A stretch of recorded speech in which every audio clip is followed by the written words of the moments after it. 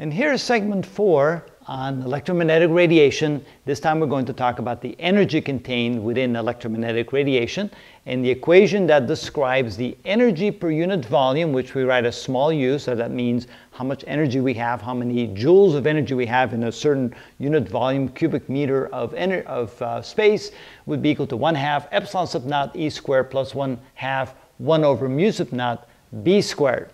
And so you can see that the energy is contained both within the electric field oscillations and the magnetic field oscillations. And it turns out that it's half and half. We can say that half of the energy, half of the energy is contained within the electric field oscillations and half of the energy is contained within the magnetic field oscillations. Notice that we can also talk about this as in, ter in, terms of the energy density. How much energy per unit volume is also termed energy density.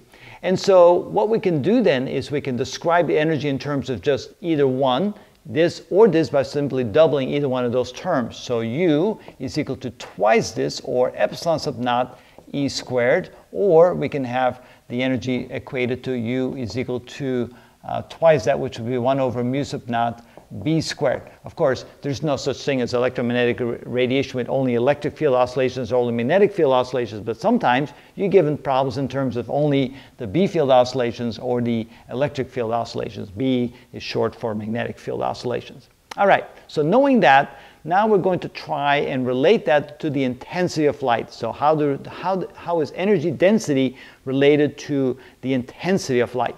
All right, remember from the uh, finding the magnitude of the Poynting vector, we could find the intensity of light, and it was equal to 1 over mu sub naught times e squared. So somehow we're going to take this and make it look like this to relate I to u. So the first thing we're going to do is realize that the speed of light, c, um, ooh, I'm missing something here. Ah, can't do that. It's actually 1 over mu sub naught times c. Now we're going to make this look like that. That's the key. And the speed of light, of course, is defined as 1 over the square root of epsilon sub naught times mu sub naught. And so if we replace uh, 1 over c, which if we write this as 1 over c, that's equal to the square root of epsilon sub naught times mu sub naught. If we replace 1 over c by that, we get the intensity of light is equal to the square root of epsilon sub naught times mu sub naught divided by mu sub naught times the electric field oscillation squared. Now notice if we square the bottom and take the square root at the same time, so we didn't change anything, now we have both the numerator and denominator here in the underneath the radicals, and that means I can eliminate this and eliminate that. So now we have I is equal to the square root of epsilon sub naught over mu sub naught times E squared. So now we're almost there. We're trying to make it look like this. So I have an epsilon sub naught in the, in the uh, equation. It's underneath the radical. Make this a little bit longer, like so. And so what if we now multiply both sides of this equation by the square root of epsilon sub naught times mu sub naught. And of course, I have to do it to both sides. Epsilon sub naught times mu sub naught. So a little mathematical trick, but notice what's going to happen.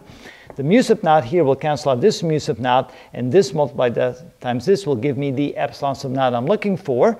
And so that takes care of the right side equation. And on the left side equation, I realize that this is equal to 1 over c from here. So now I can say 1 over c times the intensity of light is equal to, notice this cancels out this, and this times this gives me epsilon sub naught times e squared, which, by the way, is equal to this. That's the energy density of light.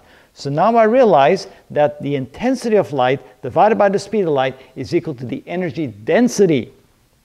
So let me write that over here. So we can say that the intensity divided by the speed of light is equal to epsilon sub naught times e squared, which, by the way, is equal to the energy density, the energy per unit volume of electromagnetic radiation.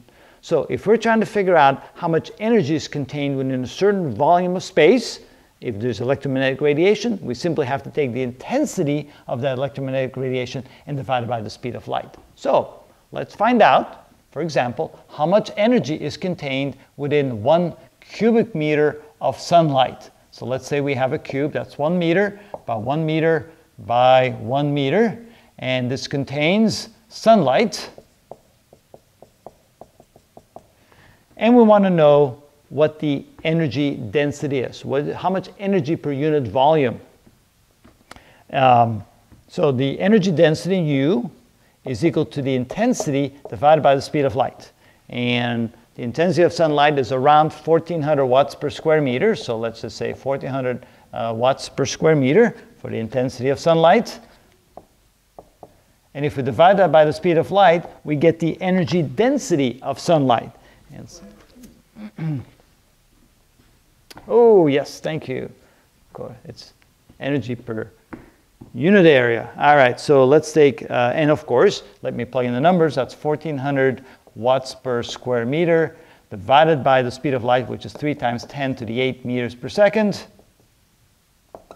And that will give us watts per, oh, that gives us joules per cubic meter. That's the units. So we have 1400 divided by 3e to the 8, and that would be uh, 4.7. So 4.7 times 10 to the minus 6 joules per cubic meter. That would be the energy density of sunlight. And then if we want to know how much energy there is in a cubic meter, then we say that the energy, uh, which is equal to the energy density times the volume, that would be equal to 4.7 times 10 to the minus 6 joules per cubic meter. And then we multiply that times 1 meter cubed. And that will then, of course, give us 4.7 times 10 to the minus 6 joules. So that's how you figure out the energy density of electromagnetic radiation and the energy contained within a certain volume that, that contains electromagnetic radiation. And that's how you do that.